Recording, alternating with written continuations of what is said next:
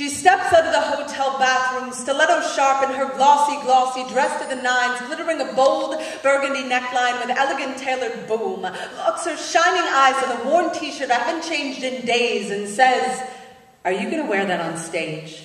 I smile, gloating in the cool of my gritty apathy, the oh so thrift store of my dirty grunge. She says, honey, do you have any idea how much privilege it takes to think it's cool to dress poor?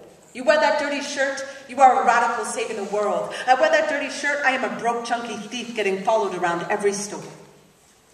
That conversation happened years ago. On the same tour where Sonia watched me pay 75 bucks to have my hair cut in a way that would make me look, quote, like I couldn't afford a haircut. The same tour that started the day after. I was the featured performer at a university's Women of Color Symposium. No, I did not ask whether we're not featuring a woman of color instead. Yes, I got paid. I'm pretty sure it was a good paycheck.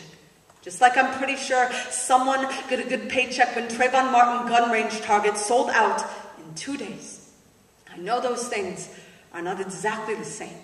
I know I wanted to burn every noose white seam of our cotton flag when Trayvon Martin's mother was on the witness stand, trying to convince a jury of mostly white mothers that she could actually recognize the sound of her own son's scream. I know I wanted to split the fucking sky when I heard that whip of a verdict, and Sonia posted online, how many different ways can this country tell me I am worthless? I know. It was right then that I walked upstairs and started counting the hoodies in my closet. I have 14 hoodies that tell me I will never be forced to dress a wound as deep as my mother's heart. She will never be woken in her sleep to peel my body of gated grass to beg God to sew the hole in my chest. I know my family will never have to hear justice say it wasn't until I was lying in my casket that I was wearing the right clothes.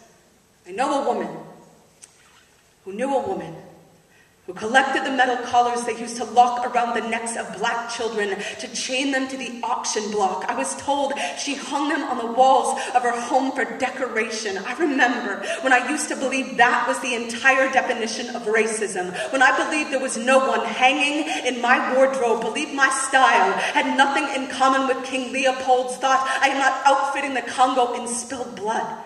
I'm just buttoning up my shirt here. I'm just rolling up my sleeves. I am not unstitching the face of Emmett Till. I am not unzippering the wail of his mother's grief. The laces of my shoes are just the laces of my shoes that could not tie a body to a tree. I'm not fashioning a noose here. Sonia, do you hear me? My compassion is not a costume. My passivity is not hate. My privilege is not genocide. This is just how I cut my hair. That was just how they cut the check. This is just how I dress your wound. I don't even think about what I wear.